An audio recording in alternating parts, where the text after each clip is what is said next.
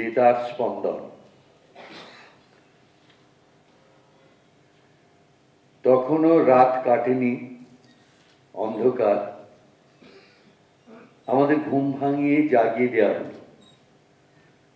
অন্য যে কোনো দিন এমন ভোর রাত্রিরে উঠে পড়লে তো বকুনি শুনতে হয়, আর একটু ঘুমোতে বলা হয়। আজ এই অন্ধকার থাকতে যে ডেকে দেয়া হলো, তার কারণটা এই নয় যে বাগানের স্থলবদ্ধ গাছ থেকে কেউ ফুল চুরি করতে এসেছে? আমরা গেলে সেই ছুট লাগাবে। আমাদের ডেকে তোলা হয়েছে কেন বুঝতে পারি। ঘরের রেডিওটায় আলো জ্বলছে। একটা বাজনা বাজছে সেখানে। অধিবেশন শুরু হবার বাজনা। পরে জেনেছিলাম ওটার নাম সিগনেচার টিউন সঙ্গে সঙ্গে বুঝতে পারি আজ মহালয়া এখনই শুরু হবে রেডিওতে মহিষাসুর মর্দিনী অনুষ্ঠান। ওই রেডিওটা ছিল কাকার। কাকা ডেপুটি ম্যাজিস্ট্রেটে চাকরি করবার সুবাদে দূর দুর্গম সব মফস্বলে থাকতো। ওই রেডিওটা সঙ্গে নিয়ে গেলে তো তার একাকিত্ব খানিকটা কাটতে পারত। কিন্তু তা না করে কৃষ্ণনগরের বাড়িতে ওটা রেখে দিয়েছিল কেন? এটা এখনও ভাবলেই বুঝতে পারি না। তখন তো তা মাথাতেই আসেনি। যেসব জায়গায় পোস্টিং হতো, তার অনেক ক্ষেত্রেই তখন ইলেকট্রিসিটি যায়নি বলেই কি রেডিওর বাক্সটা অনাবশ্যক হয়ে গিয়েছিল। তা বোধ না। শখ করে একটা দম দেওয়া গ্রামোফোন কিনেছিল, সেটাও তো নিয়ে যায়নি। কৃষ্ণনগরই পড়ে থাকত। আসলে তখনকার দিনের মানুষজনের ভাবনা, চিন্তা বোধ হয় একটু অন্যরকম ছিল। ভাবতো হয়তো আমি কিনেছি বলেই তো রেডিওটা আমার বদলির চাকরির সঙ্গী হওয়ার জন্য নয়, ওটা বাড়ির সকলে শোনার জন্য। রেডিও সেট তখনও তো হাতের মুঠোয় বা বুক পকেটে ধরে, এমন ট্রানজিস্টার অবতারে মিনি আকার ধারণ করেনি। রেডিও সেট তখনও বাড়ির একটা অলঙ্কার অহংকারও বটে। রেডিও সেট মানে বাড়ির রেডিও। আর সেই জন্যই বোধ রেডিও ব্যবস্থা, রেডিও সম্প্রচার বাড়ির সকলের কথা, পরিবারের কথা ভেবেই গ্রন্থিত হতো। নানা বয়সের মানুষের কথা ভেবে নানান রকমের অনুষ্ঠান তৈরি হতো। তবে শুধু বয়স সীমায় অনুষ্ঠান তৈরির প্রয়োজনীয় শর্ত ছিল না। গরিষ্ঠ ধর্মগোষ্ঠীর মনে রেডিও ব্যবস্থার জায়গাটা যাতে পাকাপাকিভাবে তৈরি হতে পারে, সেজন্যেও যে অনুষ্ঠানের পরিকল্পনা করা হতো, এটা তো অনুমান নির্ভর নয়। মহিষাসুর মর্দিনী যে ওই রকম পরিকল্পনা নিয়েই তৈরি হয়েছিল, এসব কথা অনেক পরে জেনেছি। কিন্তু ওই অনুষ্ঠান সংরচনের দায়িত্বে প্রধান যে তিনজন ছিলেন বাণী কুমার পঙ্কজ কুমার মল্লিক ও বীরেন্দ্র কৃষ্ণ ভদ্র, এটা ওই অতি শৈশব থেকেই শুনে আসছি। তিনবার শঙ্খধ্বনি দিয়ে শুরু হতো মহিষাসুর মর্দিনী। বীরেন্দ্র কৃষ্ণের গ্রন্থনা জানিয়ে দিত, আশ্বিনের শারদ প্রাতে বেজে উঠেছে আলোক মঞ্জির। আধো ঘুম আধো জাগার মধ্যে শুনতাম, জাগো, দুর্গা, দশপ্রহরণ ধারিণী, ইত্যাদি গান। চমৎকার সব গান। ওই গানগুলোর সঙ্গে বীরেন্দ্র কৃষ্ণের খোলা ও সুর লাগানো গলায় ভাষ্য এবং চণ্ডী পাঠ। রাত থাকতে উঠে ঘুমে জাগরণে মেশা ভরে ওই প্রোগ্রাম শুনতে শুনতেই যেন দুর্গোৎসবের শুরু হতো। তবে সেই উৎসব যতটা না পূজার ছিল, তার থেকে বেশি ছিল শরতের। একটি মাত্র গান যে অমন করে শরতের আবাহন হয়ে উঠতে পারে, তা বাঙালি শ্রোতা মাত্রেই জানে। বাজলো তোমার আলোর মেনু গানটি কখন হবে?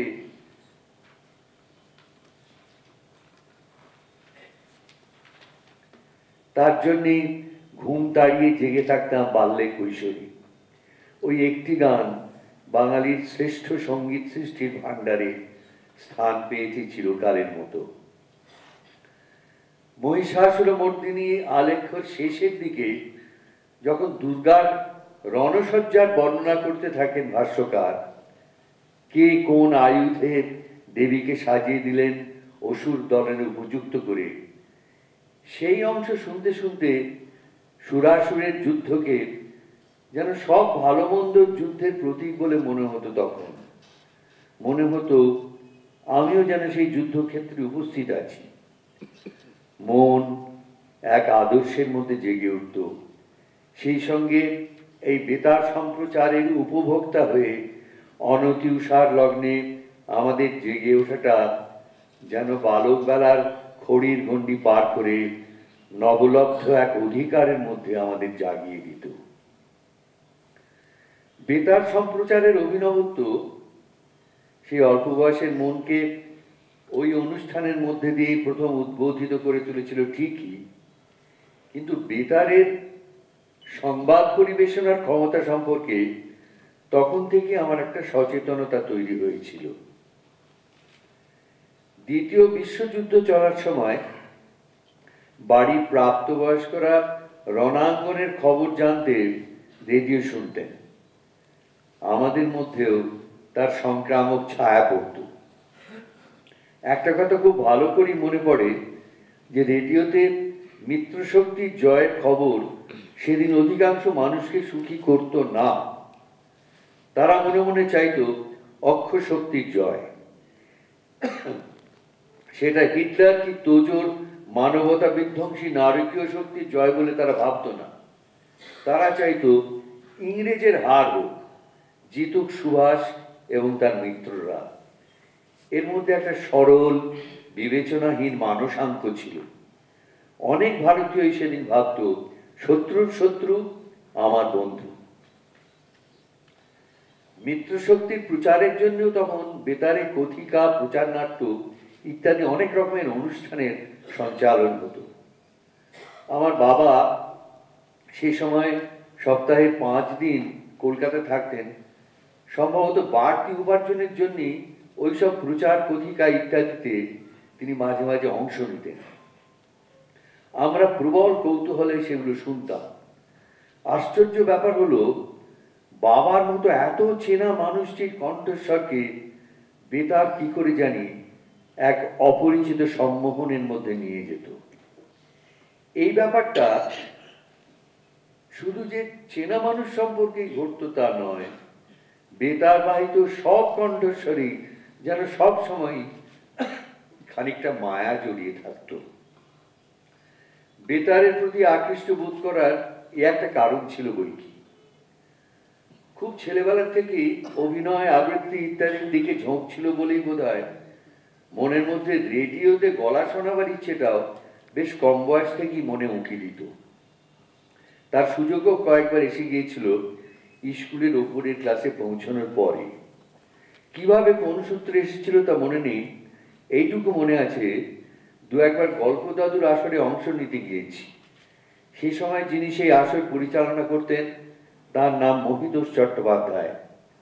ভারী মিষ্টি গলা ছিল তার। পরে যখন জয়ন্ত চৌধুরীর দায়িত্ব ছিল ওই কাজের, তখনও একবার গাছটিন প্রেসে গিয়েছিলাম, ছোটখাটো কোনো নাট্যকণিকায় অংশ নিতে।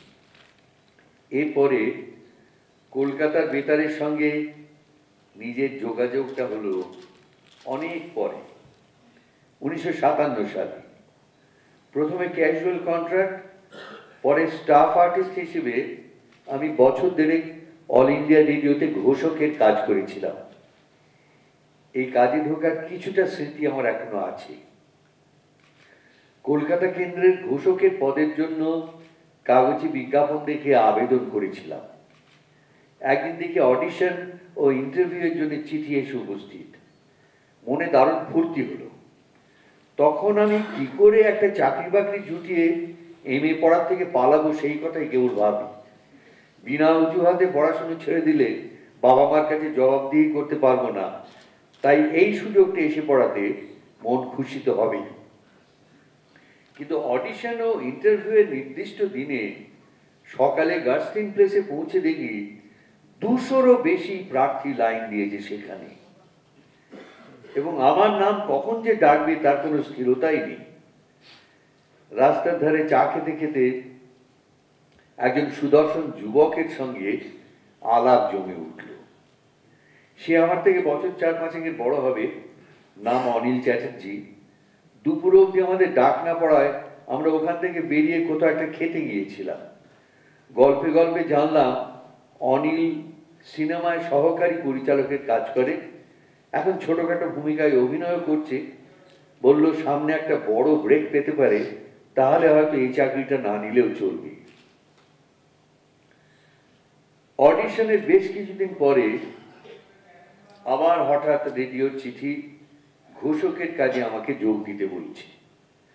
যোগ দেওয়ার পরে জানতে পেরেছিলাম, ওই দ্বিশতাধিক প্রার্থীর যোগ্যতা বিচারে আমার স্থান ছিল দ্বিতীয় এবং অনিল চ্যাটার্জির স্থান ছিল প্রথম। ঘোষকের পদ একটি শূন্য ছিল তখন, অতএব অনিলের কাছেই চাকরিটার নিয়োগপত্র গিয়েছিল। কিন্তু ও ততদিনে সিনেমার নায়কের ভূমিকা পেয়ে যাওয়ায় চাকরিটা নেয় ফলে দ্বিতীয় স্থানের অধিকারী আমাকেই কলকাতা বেতার ডেকে নেয়। ইন্টারভিউয়ের দ্বিতীয় স্থানাধিকারীও যে অল্প কিছু পরে সিনেমার কাজে সুযোগ আসতেই বেতারের সংস্রব ত্যাগ করবে, তা তখন কে জানত? এই ছেড়ে যাওয়াটার আগে অবশ্য দিল্লি কেন্দ্র থেকে সংবাদ পাঠকের চাকরি নিয়োগপত্র আমি পেয়েছিলাম। সেখানে মাইনেপত্র কলকাতা থেকে অনেক বেশি ছিল। কিন্তু আমি ভেবে দেখলাম দিল্লি গেলে আরও জড়িয়ে যাব থিয়েটার করা আরও কঠিন হয়ে যাবে, অতএব সেই চাকরি আমি নিলাম না। একটা কথা বলা ভালো, যে আজকের এই প্রণবেশ সেন স্মারক বক্তৃতা দিতে আমি সম্মত হয়েছি বলে কেউ যেন মনে না করেন যে এই বক্তৃতা মালার আমার আগের দানকর্তাদের মতো ঐতিহাসিক কি তাত্ত্বিক, এমনকি শৈল্পিকভাবে এদেশে বেতারের সঞ্চালনা প্রকৌশল প্রবর্তনা বা সম্প্রচারের ভবিষ্যৎ নিয়ে আমি বিস্তারিত কোনো আলোচনা করতে পারব। বেতারের সঙ্গে আমার সামান্য সংস্রবের স্মৃতি মেদুরতা আমাকে এই বক্তৃতা দেওয়ার কাজে সম্মত করেছে এবং সেই স্মরণ প্রবাহের অনুপুঙ্খ তরঙ্গগুলি মনে রাখবার স্মৃতিশক্তিও কিন্তু আমার নেই তবু এই নিবন্ধে হয়তো আমি বেতারকে কি চোখে দেখেছি বেতারের অভিজ্ঞতা আমার পরবর্তী পেশাগত কাজে কোনো শিক্ষা দিয়েছে কিনা? এমন দু একটা কথা আলোচনা করতে উদ্যত হয়েছে এই কারণে যে তা একজন কর্মরত আনর্ত কর্মীর ক্রমবর্ধিষ্ণুতার সাক্ষ্য হিসেবে কাজে লাগতে পারে। বেতারে কাজ করতে গিয়ে কি শিখেছি? তা প্রথমে বলে নিয়ে অন্য প্রসঙ্গে পদক্ষেপ করব। বেতারে কাজ করেছিলাম বলে পরবর্তীকালে ফিল্মের শুটিংয়ে শব্দধারক যন্ত্র ব্যবস্থা আমার বুঝতে সুবিধে হয়েছিল। মাইক্রোফোনকে কি করে ব্যবহার করতে হয় তা রেডিওতেই বোধহয় প্রাথমিকভাবে শিখেছিলাম। বেতারে ঘোষণা, সংবাদ পাঠ ইত্যাদি দায় বহন করতে গিয়ে আমার বাচিক পরিশীলনও খানিকটা এগোতে পেরেছিল। কিন্তু রেডিও আমাকে একটা মস্ত বড় শিক্ষা দিয়েছিল যা আমার চরিত্রেই ছিল না। ছিল না বললেই চলে। পাঁচ কি দশ কি পনেরো মিনিটের গান বা বাজনা বা কথিকা প্রচারের প্রথম ও শেষ যে ঘোষণার অংশ, তাতে শিল্পীর নাম, গানের বা বাজনার পরিচয় যেমন রাগরাগিনীর নাম, এসব বলার জন্যে সময় নির্ধারিত থাকতো মাত্র কয়েক সেকেন্ড। দশ মিনিটের একটা প্রোগ্রামে শ্রোতারা কি শুনতে যাচ্ছেন তার প্রথম ঘোষণার পর ন মিনিট পঁয়তাল্লিশ সেকেন্ড অ্যানাউন্সারের ছোট্ট কিউবিকলে ঘড়ির দিকে, বিশেষত তার সেকেন্ডের কাঁটার দিকে তাকিয়ে বসে থাকা এবং শেষে দশ সেকেন্ডের মধ্যে অন্তের ঘোষণা করে স্টুডিও ছেড়ে দেওয়ার কাজ করতে হতো। এই বসে থাকাটা আমার মতো ছটফটে অধীর ধৈর্যহীন মানুষকে একেবারে দৈহিকভাবে বাধ্যতামূলক ধৈর্য শিক্ষা দিয়েছিল। কলকাতা বেতার কেন্দ্রে ঘোষক হিসেবে যোগ দেওয়ার সময় বেতারের শিল্পী ও সম্প্রচারের সঙ্গে যুক্ত অন্যান্য কর্মী কলাকুশলীদের গ্ল্যামারের উজ্জ্বলতায় চোখ খানিকটা ধাঁধিয়ে গিয়েছিল এটা মনে পড়ে। কিন্তু সঙ্গে সঙ্গে এটাও আমার মনে পড়ে যে রেডিওতে নাটক করার ব্যাপারে তেমনভাবে কেউই তখন আমাকে ডাকেনি। দু একজন হালকাভাবে রেডিওতে নাটকে আমার আগ্রহ আছে কিনা জানতে চাইলে আমি অল্প বয়সে নাক তোলা রক্ষণশীলতা থেকে ওদিকে ঘেঁচতে চাই। তখন যেন ভাবতাম অভিনেতার স্থান রঙ্গভূমি, বেতার নয়।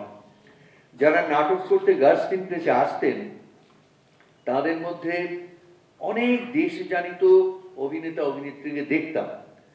তাদের অনেকেরই আমি অনুরাগী ছিলাম। কিন্তু নিজে বেতার নাটক থেকে একটু দূরেই থাকাটা পছন্দ করতাম।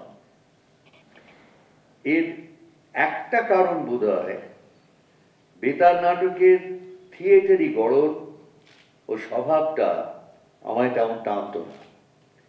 বিদেশি বেতারে ওয়ার অফ দি ওয়ার্ল্ডসের সাফল্যের কথা পড়েছি, সেই নাট্যরূপ ছাপার হরফেও পড়েছি জেনেছি কীভাবে গ্রহান্তরের প্রাণীদের পৃথিবী আক্রমণ বিষয় করে বেতার নাটক এমন ভয় জাগানো বিশ্বাসযোগ্যতা তৈরি করেছিল যাতে মানুষজন বাড়ি ছেড়ে পালাতে শুরু করেছিল।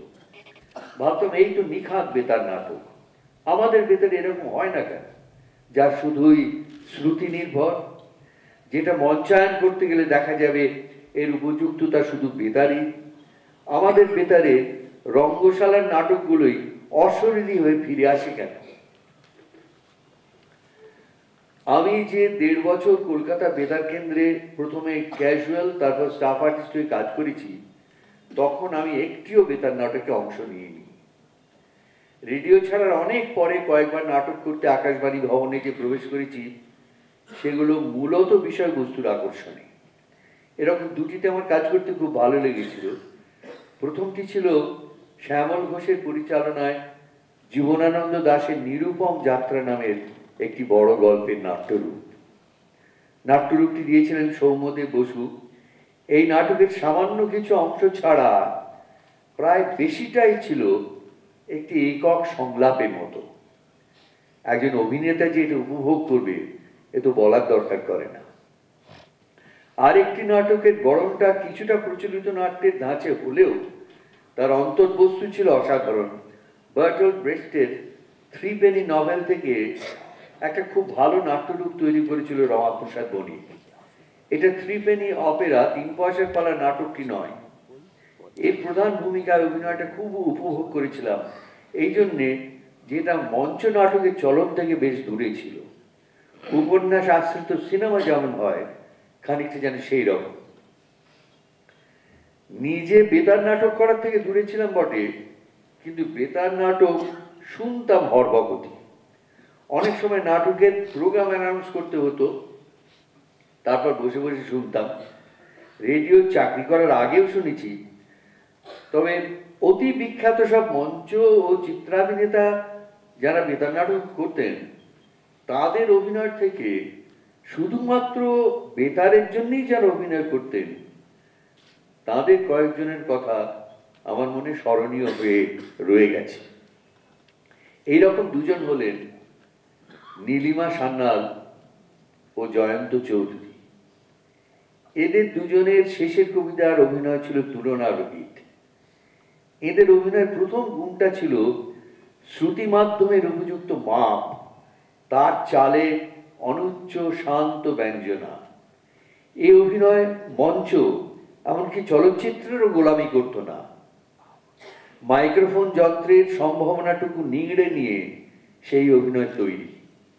কোথায় শব্দ প্রক্ষেপের সময় কি ধরনের বা কতটা ওজন দিলে শ্রোতার মনে নাট্য ছবি ফুটে উঠবে বা কাঙ্ক্ষিত আবেগে রং লাগবে, তার বোধ যেন ছিল নীলিমা সান্যালের সহজাত। এমনকি তার সংবাদ পাঠও শোনার জন্য অসংখ্য শ্রোতার মতো আমিও উন্মুখ থাকতাম। জয়ন্ত চৌধুরীর সাহিত্যবোধ শুধুমাত্র নাটক নয় যে কোনো ধরনের অনুষ্ঠান সম্প্রচারই প্রকাশ পেত। নীলিমা সান্যালের কণ্ঠের স্বর ছিল চিত্তাকর্ষক ও মনোমুগ্ধকর। নীলিমা ও জয়ন্তের বাংলা উচ্চারণ ছিল অত্যন্ত পরিষ্কার এবং ভান ভনিতা বর্জিত। উচ্চারণের প্রসঙ্গে একটা কথা এখানে বলতে চাইছি আমি। আমরা কলেজ জীবন থেকে শুনে আসছি ব্রিটিশ ব্রডকাস্টিং কর্পোরেশনে যেভাবে ইংরেজি বলা হয়, ইংরেজি ভাষা উচ্চারিত হয়, সেইটাই ইংরেজি কথনের মানদণ্ড। এই কথা শুনে আমরাও ভাবতাম, তবে কথ্য বাংলা ভাষার উচ্চারণের মানদণ্ড কোনখানে খুঁজবো আমরা? বাংলা রঙ্গমঞ্চে তখন অবধি বেশ কয়েকজন দিকপাল যুগন্ধর অভিনেতা ছিলেন। যাদের মুখে বাংলা ভাষা পরম রমণীয় রূপ পরিগ্রহ করত। বিশেষত শিশির কুমার ভাদুরীর গদ্য ও পদ্য সংলাপের ললিত প্রবাহ শুনে ভাবতাম, এটাই কথিত বাংলার আদর্শ নিদর্শন হয়ে থাকা উচিত। একটা ব্যাপার ভেবে দেখিনি, যে আগের দিনের থিয়েটারে যেখানে সংলাপ শেখানোর যথেষ্ট যত্ন নেওয়া হতো, সেখানেও অধিকাংশ শিল্পীর উচ্চারণের স্পষ্টতা থাকলেও ভাষার এমন কিছু মাধুর্য সৃষ্টি হতো না, যা শিশির কুমার, মনোরঞ্জন ভট্টাচার্য যোগেশচন্দ্র চৌধুরী কি নরেশ মিত্রের বাংলা শুনে পেতাম। বেতার শিল্পীদের ক্ষেত্রে বোধ করি সেই একই ঘটনা ঘটত। সেখানে রেডিওতে যারা ঘোষক বা সংবাদ পাঠক হিসেবে নির্বাচিত হন তাদের মধ্যে বেশিরভাগেরই গলা বেশ ভালো হয়। বিশেষত তাদের গলায় খাদের দিকের আওয়াজ। এবং এর একটা মারাত্মক ফল হয় অনেকের ক্ষেত্রে। এদের অনেকেই নিজের নিজের কণ্ঠস্বরের প্রতি নার্সিসার সুলভ আকর্ষণে ভুগতে থাকেন।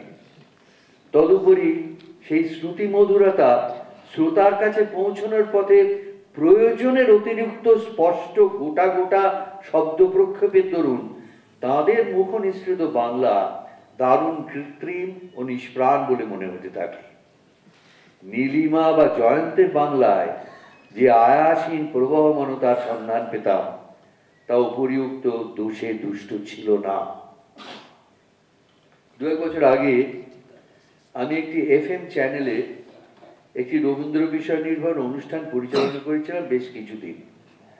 সাধারণভাবে এফ এম রেডিও তরঙ্গগুলি শোনার সময় এমনকি ঔৎসুক্য আমার কম। কিন্তু এফ এ কাজ করতে গিয়ে অন্যান্য বহু রেডিও জকির বাঘ ভঙ্গি মনোযোগ দিয়ে শোনার কিছুটা সুযোগ হয়েছিল তখন। তার থেকে লক্ষ্য করেছিলাম যে অনেকেই এত কণ্ঠ সচেতন যে বাঘ ভঙ্গিকে সহজের কাছে নিয়ে যাওয়ার কোনো তাগিদ তাদের বিচলিত করে না। তার উপরে কিছু মহিলা শিল্পী আবার এত আদুরে একটা কথা বলার ভঙ্গি তৈরি করেন, যেখানে কণ্ঠস্বর গাঢ় গম্ভীর অনুরণনের জন্য বুকের খাঁচা বা ডায়াফার্মের মধ্যে নামিয়ে নিয়ে যা দূরস্থান। জিহ্বাকে এত কৃত্রিম ভাবে সুললিত করে তোলেন তারা যে সেরকম কণ্ঠ দিয়ে ভাষার ওজস বা দাঢ্য আর প্রকাশই করা যায় যাই হোক, এসব নিয়ে ভাবলে আমার মনে হতে থাকে যে বেতার শিল্পী শুধু নয়, রঙ্গমঞ্চ, এমনকি চলচ্চিত্র লোকের শিল্পীদেরও শ্রোতা দর্শকের কাছে পৌঁছানোর বাহন্ত ভাষা। সেখানে মঞ্চ বা চলচ্চিত্রে দৈহিক উপস্থিতি অভিব্যক্তির সুযোগ খানিকটা থাকলেও বেতারে তো শ্রোতার সঙ্গে যোগাযোগের একমাত্র সাঁকই হলো ভাষা।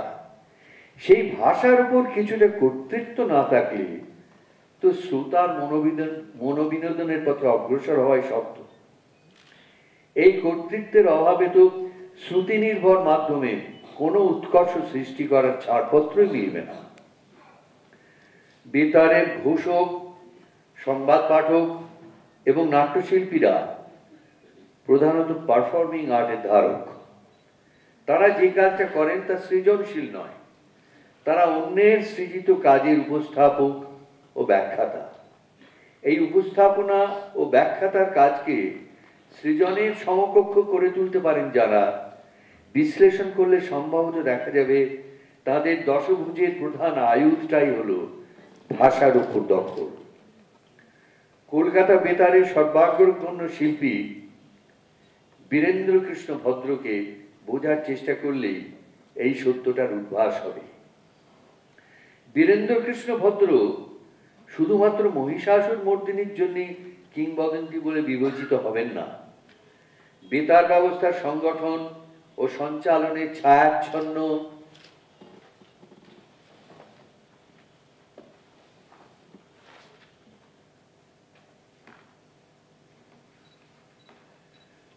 বেতার ব্যবস্থার সংগঠন ও সঞ্চালনের ছায়াচ্ছন্ন দিনগুলি থেকে তাকে সর্বভারতীয় জনপ্রিয়তার আলোকে উত্তীর্ণ করার অন্যতম কর্তা হিসেবেও তাকে ইতিহাস মনে রাখবে।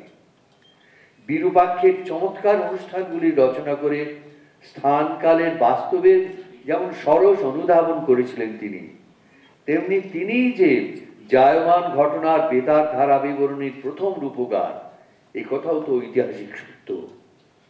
রবীন্দ্রনাথের প্রয়াণকালের ও শেষ যাত্রার বাংলায় ধারা বিবরণী দিয়েছিলেন বীরেন্দ্র কৃষ্ণ। এই সমস্ত পারঙ্গমতার ভিত্তি অবশ্যই ছিল ভাষা ও সাহিত্যের বোধ। বেতার সাংবাদিকতার কথা আলোচনা হলেও ভাষা বা সাহিত্যের প্রয়োজনটা স্পষ্ট হয়। প্রয়াত যে বেতার সাংবাদিকের স্মরণে এই বক্তৃতামালার আয়োজন করা হয়, তার সংবাদ পরিক্রমা প্রথাগত সংবাদ পরিবেশনার থেকে বহু দূরে ছিল মূলত তার সাহিত্য সুলভ আলোচনা ও সমালোচনার জোরেই। সময়, ইতিহাস ও সমাজ বিখ্যার উপাদানগুলি তৎকালীন শ্রোতাদের প্রত্যাশা মেটানোর কাজে এমনভাবে ব্যবহার করতেন শ্রী সেন যে তা এক হিসেবে সাহিত্যেরই সমগোত্র হয়ে উঠত। ওই অনুষ্ঠানের জনপ্রিয়তার এই মূল কারণটাই সার্থক রূপ পেয়েছিল দেবদুলালের পাঠ করার মধ্যে। ছাত্রাবস্থা থেকেই রেডিওর বাচিক যে অনুষ্ঠানগুলির প্রতি আমি আকৃষ্ট ছিলাম, সেগুলি তখন বাংলা ভাষায় ছিল না। আমি ক্রিকেট ভক্ত ছিলাম, তাই বেরি সর্বাধিকারী পিয়ারসন সুরিটা, মেলভিন ডেমেলো, ডিকি রত্নাকর, মহারাজ কুমার ভিজিয়ামি গ্রাম, এদের ইংরেজি কমেন্টারি ছিল আমার প্রিয়। আমি যখন কলকাতা বেতার কেন্দ্রে কাজ করছি, তখনও বাংলায় ক্রিকেট বা ফুটবলের ধারাভাষ্য শুরু হয়। শুনেছি অনেককাল আগে উনিশশো চৌত্রিশ সাল নাগাদ বীরেন্দ্র কৃষ্ণ ভদ্রকে দিয়ে একবার নাকি চেষ্টা হয়েছিল ফুটবলের ধারাভাষ্য দেওয়ার। সঙ্গে ছিলেন রায়চাঁদ বড়া। ফুটবলে সম্পূর্ণ অনভিজ্ঞ বীরেন্দা এমন কমেন্টারি করতে থাকেন যে রায়চাঁদ বড়াল অফিসে ফিরে বলেছিলেন, বীরেনকে যদি খেলা রিলে করতে পাঠান তাহলে ভারতবর্ষে বেতার স্টেশন, অন্তত কলকাতা স্টেশন চিরদিনের মতো বন্ধ হয়ে যাবে। এরপর সৌভাগ্যক্রমে অন্তত পঁচিশ বছর কলকাতা বেতার কেন্দ্রে খেলার বাংলা ধারাভাষ্যের চেষ্টা স্থগিত থাকে। কলকাতা রেডিওতে কাজ করার সময় খেলার ধারাভাষ্যকারদের দেখতে পাইনি বটে। কিন্তু গান বাজনার জগতের অসংখ্য গুণীর আসা যাওয়ায় তখনও গার্সিন প্লেস দীপিত হয়ে থাকত। গৌর গোস্বামী অলোকনাথ দেব কেরামতুল্লাহ খাঁ সাগির উদ্দিন দক্ষিণারঞ্জনের মতো অনেক গুণী গুণীরা তো রেডিও স্টাফ আর্টিস্টই ছিলেন। তদুপরি তখনও রেকর্ড করা প্রোগ্রামের থেকে সরাসরি সদ্যপাতি অনুষ্ঠান অনেক বেশি ছিল বলে অসংখ্য সংগীত গন্ধর্বের পদপাতে কলকাতা বেতার কেন্দ্রে একটা সাংস্কৃতিক তীর্থের আবহাওয়া ছিল।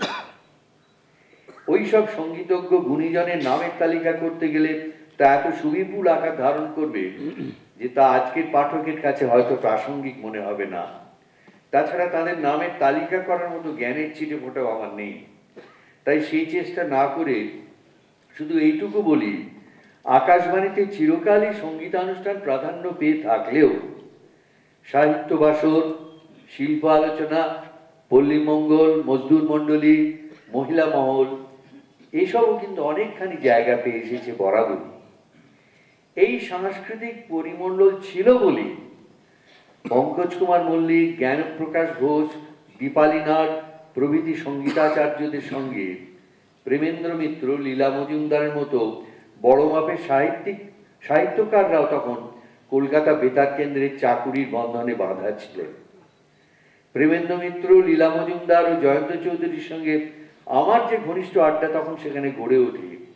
তা আমার তরুণ মনে যথেষ্ট প্রভাব বিস্তার করেছিল।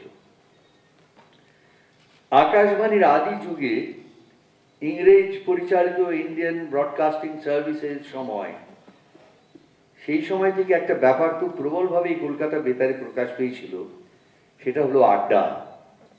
শুনেছি লায়নেল ফিল্ডেন সাহেব যিনি ছিলেন কন্ট্রোলার অফ ব্রডকাস্টিং তিনি নৃপেন মজুমদারকে প্রোগ্রাম ডিরেক্টর করে নিয়ে এসেছিলেন।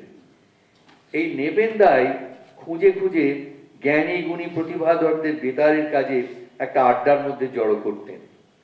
সেই আড্ডার বহু মানুষই আজ ইতিহাসে স্থান পেয়েছেন। এই নিবন্ধে আগের দিকে যাদের নাম উল্লেখ করেছি, তারা ছাড়াও হীরেন্দ্র কুমার বসু, প্রেমাঙ্কুর আতর্থী, মৃত্যুঞ্জয় ব্যানার্জি নিবেন্দ্র কৃষ্ণ চট্টোপাধ্যায় সুরেশ চক্রবর্তী কাজী নজরুল ইসলাম ছিলেন এই আড্ডার প্রধান জ্যোতিষ্ক। এদের ডাকে আসতেন পরিমল গোস্বামী, সজনীকান্ত দাস নীরব চৌধুরী, নলিনীকান্ত সরকার এবং বাঙালি আড্ডার বোধ হয় চূড়ামণি বললেও ভুল হয় না শরৎচন্দ্র পণ্ডিত দাদা ঠাকুর। এই রকম আড্ডার মধ্যে দিয়ে যেমন বৈচিত্র্য উজ্জ্বল বহু অনুষ্ঠান পরিকল্পিত হতো, তেমনি আবার বাঙালির নিজস্ব সংস্কার যে আড্ডা, তা এইসব অনুষ্ঠানের জন্মক্ষেত্র হওয়ার ফলে কলকাতার বেতার সম্প্রচারের মধ্যে নির্ভেজাল, আত্যন্তিক একটা বাঙালিয়ানার স্রোতধারা বয়ে চলেছিল। বলা বাহুল্য, এই বাঙালিয়ানায় অভিষিক্ত কলকাতা বেতারের চরিত্র সর্বভারতীয় ছিল না।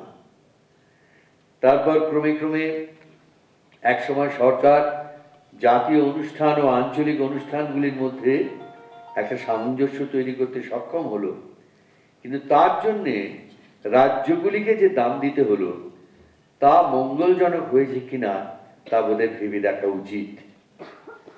আমাদের ভারতবর্ষ বহু জাতিক ও বহু ভাষা ভিত্তিক এই বহুদা বিচ্ছিন্নতার মধ্যে ঐক্যের সন্ধান হলো ভারত পন্থা।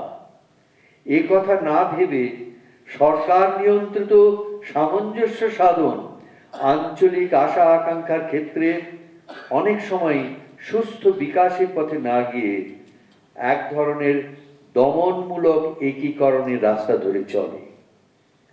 আমাদের সংবিধানের ডজনখানিক ভাষাকে যে স্বীকৃতি দেওয়া আছে, হিন্দিও তার মধ্যে একটি। কিন্তু অজস্র কোটি টাকা খরচ করে তাকে বাকি সব ভাষার শিরোধার্য করে তুলে তাকে বকলমে রাষ্ট্রভাষা করে তোলার চেষ্টাটা দমনমূলক এবং অসাংবিধানিক পাঞ্জাবের শিখ স্বাতন্ত্র অর্জনের অতিরাগ কেন্দ্রীয় সরকারের কাছে যেসব দাবি করেছিল তার মধ্যে পঞ্চনদের জলবন্টনের সুবিচার ইত্যাদি অনেকগুলি দাবির সঙ্গে একটি বেতার সংক্রান্ত দাবিও ছিল। তা হলো এই যে অমৃতসর বেতার কেন্দ্র থেকে প্রভাত সময়ে গুরমুখীতে গুরুবাণী প্রচার হোক, যেভাবে কেন্দ্রীয় বেতার সকালে প্রধান ধর্মগুলোর বাণী প্রচার করে থাকে।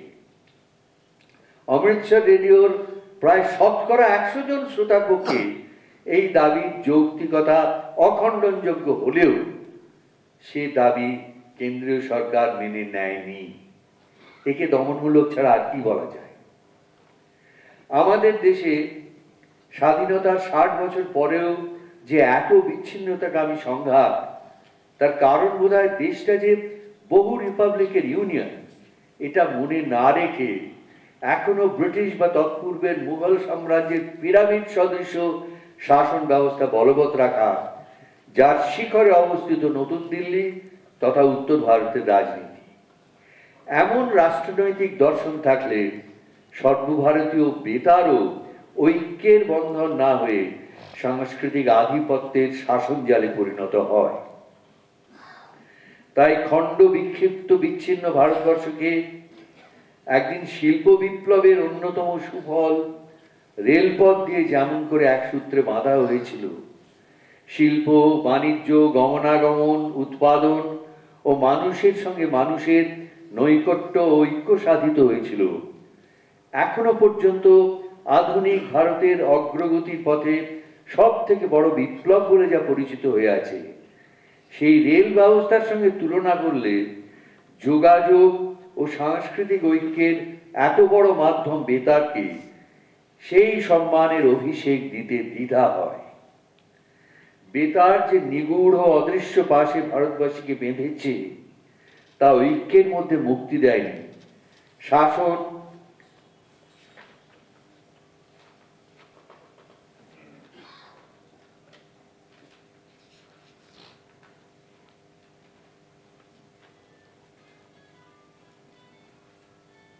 বেতার যে নিগুড় অদৃশ্য পাশে ভারতবর্ষকে বেঁধেছে, তা ঐক্যের মধ্যে মুক্তি দেয়নি।